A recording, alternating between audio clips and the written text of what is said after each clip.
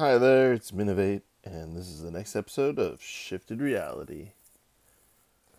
I would really like to be able to hit 500 subscribers before the end of the year, and in order to do that, I need more info from you, the viewers.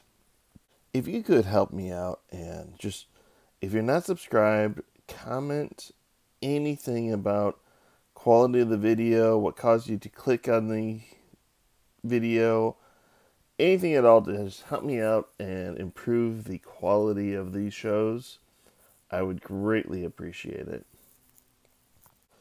Also, this is episode 16 of my first season of this Let's Play Shifted Reality series. So if you do enjoy this episode, please consider going back and checking out some previous episodes I've done. Now, last time, last episode, I noticed these new tanks at Bias's Icewing's base, and I was like, oh, I have an idea for a prank, but I don't know if I can do it. Well, it turns out that I can't. Um, this is just not my build style. So I had to turn to YouTube tutorials, and I found a tutorial guiding on a design by an Easy Leaf to add in a B 52 bomber. That my idea is I'm going to make it on an attack run on these tanks, hopefully, have it even preparing to drop a bomb. Well, this is awkward. I'm only halfway through the tutorial, and Bias Icewing logged on and has seen that I am building outside of his base. Um, he's not particularly happy about having a uh, bomber approaching his tanks, and I really wish we had a good voice chat solution for this Bedrock server. But uh, no, no, no, no, no, no! Oh, crud. Oh, that was frustrating. But anyway, so our server owner, Real Egg, asked me to meet him at my base. Um, apparently, he wanted to purchase some stone, and unfortunately, between my B 52 bomber and Traintronic borrowing my stone to build a bridge for me, I seem to be a bit low at the moment. Um, looks like need four stacks because he wanted a full shulker. So I am going to have to go back to resupplying and smelting cobblestone back into stone. I mean, I could just mine it as well since I do have Silk Touch, but this is just going to be a little bit easier. And Real Egg had agreed to pay one diamond block for this. And, well, yeah, that seems fair. It's like, what, comes up to what, three stacks of stone per diamond? Do you think I undercharged him? Comment below if you think that a diamond block for a shulker box full of stone is a fair trade or if he got the better end of the deal. And there it is in all of its glory. One B 52 Flying Fortress ready to drop some havoc and make an attack run on Bias's base. Now, I know I want said I wanted to achieve a open bomb bay door and ready to drop bombs. However, I really couldn't get a good design for a bomb that would fit inside the fuselage of the build there. And when I tried to look it up, all I found was tutorials on making TNT flying machines that would detonate once they hit their target. And that's not what I was going for. I just wanted something simple that looked like a bomb that was being prepared to be dropped. And I really only have about a 3 by 3 space inside the plane in order to work with. So I'm not, unfortunately, I didn't have that. If you have any good designs, be sure to pin them in the comments below. I may come back and look at that if I can find something. But Bias did let me finish building it, and he had his response of building these turret guns as a defense. But haha, I'm already past the range of them. So I'm just gonna I'm just gonna leave a little note on the side of his signs here to mock him because his guns did not stop the plane. Let's get back to my base. Now to get started with this big space, I need to formulate a little bit of a plan. Uh, most of what I want to put in is up at that level where the wool is. And this is a lower level, which I do have a plan for, but it's not important for this phase of the build. And so I need to plan how I'm going to be doing this bottom part to build up to the main level. And that's going to kind of guide me. And the first thing I need to decide is am I going to put any kind of exits out on this side?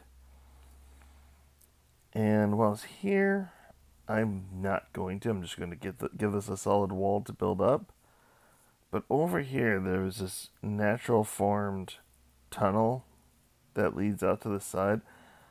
I'm going to start by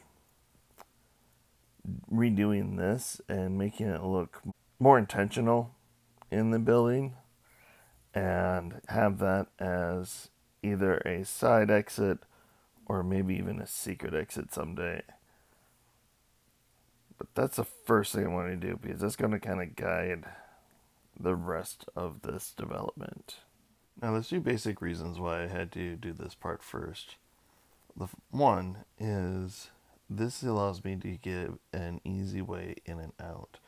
So as the walls get put in and I need to be able to access different parts of this, this allows me to get to the lower level easily. And the second reason is this is going to help me design and develop the walls as we fill in this area into the building that we wanted to add on to our base. Because as I do with all of these large sections is I break them up into smaller pieces that are less intimidating to look at and having this will give me an idea of where I could put that first height line and that will help me break up that first level at least of individual sections and make it easier and less intimidating to work on the design of this. Uh, I don't believe I did this. I just got done putting down all of these stairs for the wireframing kind of designating where I'm going to be putting walls and separating out spaces. And then it occurs to me I put it all on upside down.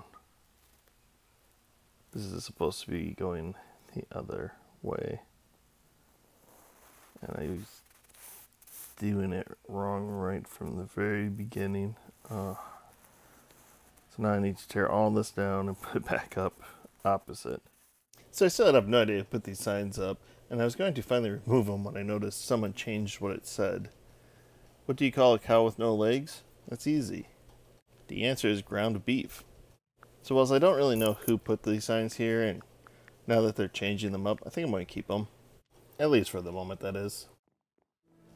Now that I'm getting further along with putting in the wireframing, and I'm starting to look at how I am going to be doing the walls and considering it, I ran into a little bit of an issue with an earlier step. Oh, ah, I made it. First try. Over here, when I built this patio, I just matched it up with where the terrain already was before I dug it all out. And I didn't necessarily have a plan for what all of this was going to look like. And now that I'm looking at it, I'm thinking down there where you see the tuff bricks and polished stuff, I'm thinking that that layer should have walls made out of deepslate for the darkness. And as it rises out, to give a shift and a change I should then put in top up here to kind of, again, play with the light and the shadow since it looks a little bit dimmer. And then up here on this level is where I should have the walls like that. Now, I'm thinking I'm not going to change the walls that are on the outside of the patio right there. I'm just going to change what's on the walls of the inside right here because that's going to need to line up with the rest of these. So next I'm going, I'm going to tear out these walls and use them as I continue with my wireframing. As you can see it's a little bit of a three block tall solution. And later on I will come in and I will replace these walls with tuff blocks that is going to match the rest of that level. So I'm still continuing with my wireframing and since I'm right about this level where I have the end stone, I went out, grabbed some more end stone, and started working on a pattern for this level of the wireframe. And I think I came up with a pretty good design. I, I did this side here first, and while that kind of worked out pretty well, it actually worked out perfectly. I mean, I had the exact number of distance to get this repeating pattern, and I really like how that looks. And it's one of those things, if you're really far away from something, you might not be able to see the little bits and bobs, but you definitely see big patterns like that, and that looks great. That looks amazing to me. And on the sides, like there and there, it needed a little bit of tweaking with the jagged bit, yeah, but that mostly fits in pretty well. I'm liking this, I'm liking this. And so I continued around on all the straight edges, and it was perfect. But then I have the round tower. The first three sections of this round tower more or less work because they're mostly straight at this point. But here is where you kind of start running into problems, and sometimes flying by the seat of your pants like I tend to do, or trying to pre-plan these things is the key to success. This next section is the most roundy bit, and so not only do I have to transition from looking at this way and seeing the pattern still going. I also need to be looking at it from here, actually more like here, and still see the pattern. So that when it finishes, and I'm looking at from this direction, I see that pattern.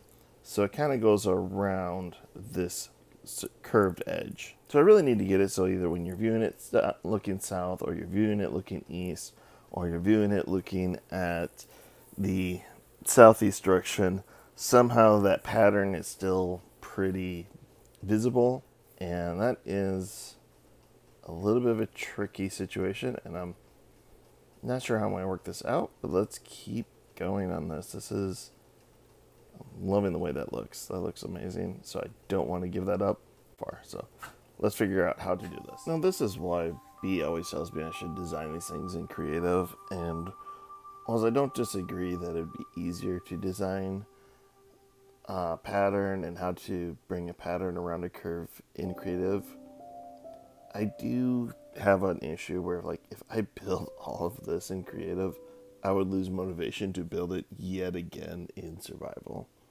So that's why I have to do all of my work in survival just to keep my personal motivation up. And as you can see, I kind of kept the pattern, you know, a little bit.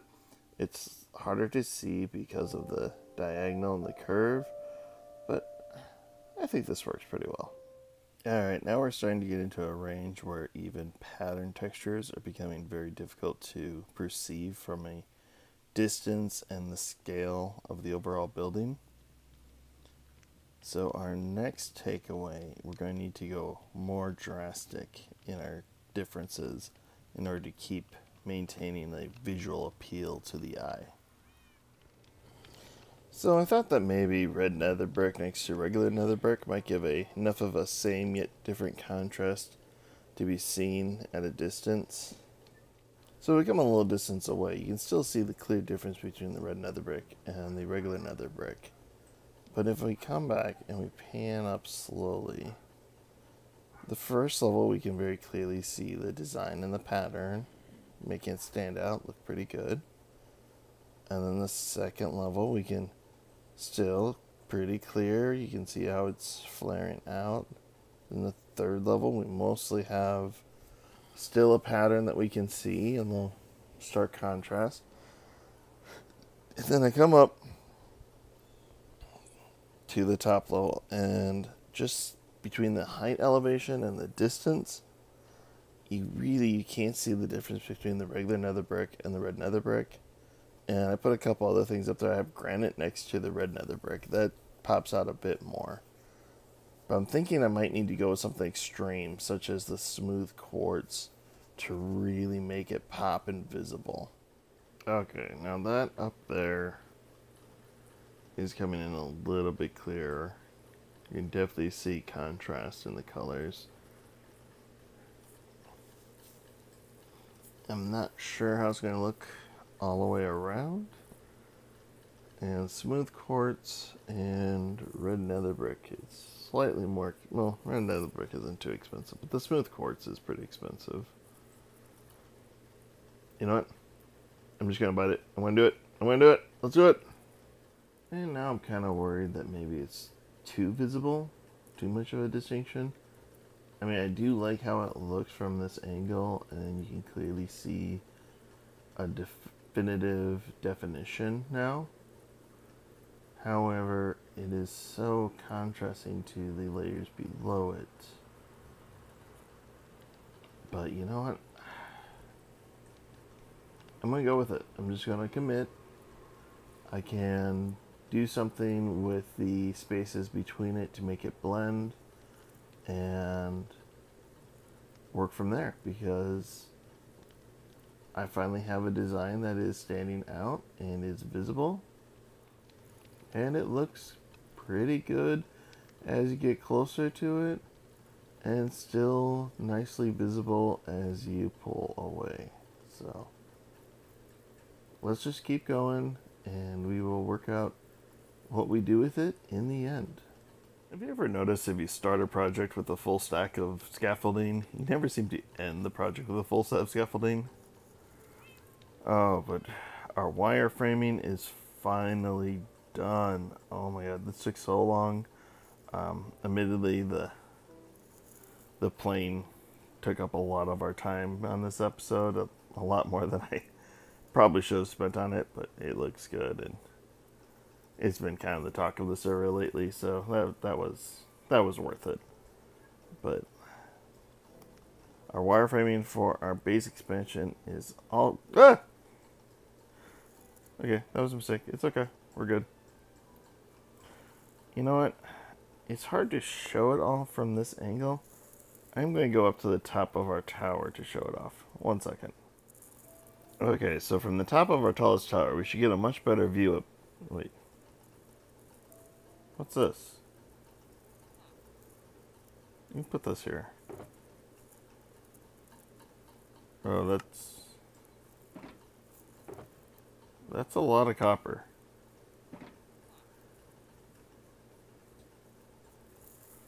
Greetings, Minovate of Minovate Land. This message has been transmitted from the official press of Dresden of the totally non-evil nor shady First Reich. Okay. Um.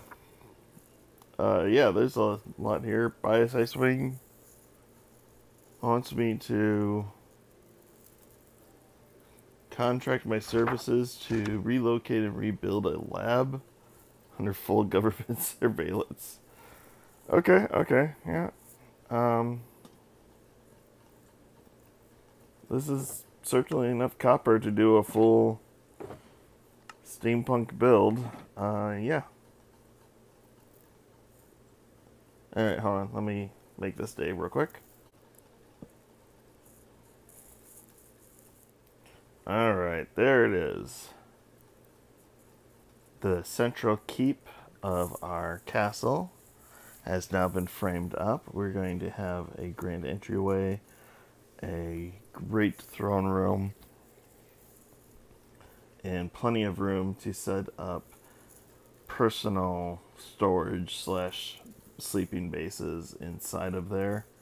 I'm thinking the very top is going to be some form of like hanging garden. That's gonna be like pretty slick. And that central tower, that central square tower, is going to be the main way to go up and down the whole thing. Still a lot of work to do, but we are making progress and we are moving forward. That is looking great. But that's all we have for today. Um, we will be getting to Bias's lab request here in the next episode, and we will also be continuing on our base expansion. Thank you for watching, and if you're not subscribed and you've gotten this far, please consider subscribing I am trying to reach 500 subscribers before the end of the year. That would be very much appreciated. And as always, have a good one. Goodbye.